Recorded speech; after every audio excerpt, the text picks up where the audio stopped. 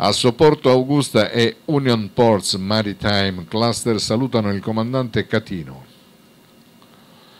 Nell'augurarle i migliori risultati per il nuovo incarico, siamo certi che porterà sempre nel suo cuore un po' di Augusta. A dirlo sono i presidenti delle due associazioni portuali megaresi, Marina Noè per Assoporto Augusta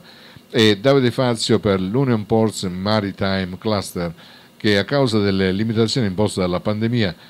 non potranno oggi essere presenti alla cerimonia di avvicendamento alla guida della Capitaneria di Porto di Augusta tra il comandante uscente, il capitano di vascello Antonio Catino, e l'entrante capitano di vascello Michele Maltese. Gli operatori portuali di Augusta intendono così ricambiare i sentimenti di riconoscenza espressi dal comandante Catino in una lettera a loro inviata, ricordando la leale collaborazione che si è instaurata in questi anni con la Capitaneria di Porto per il raggiungimento di obiettivi comuni e il massimo sforzo profuso sempre per individuare le soluzioni alle problematiche che via via si sono eh, presentate nel mondo della portualità.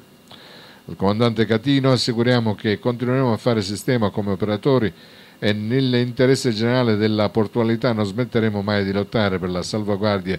degli interessi del porto di Augusta. Siamo pronti ad affrontare le sfide future che arriveranno e non faremo mancare mai il nostro supporto a chi come lei ha voluto e potuto fare un po' di strada insieme a noi. Aggiungono Noè e Fazio, che si dicono certi che questa collaborazione proficua potrà continuare ad esistere anche con il nuovo comandante maltese a cui gli operatori tutti rivolgono il loro benvenuto e i migliori auguri per il suo nuovo prestigioso incarico che da oggi assumerà.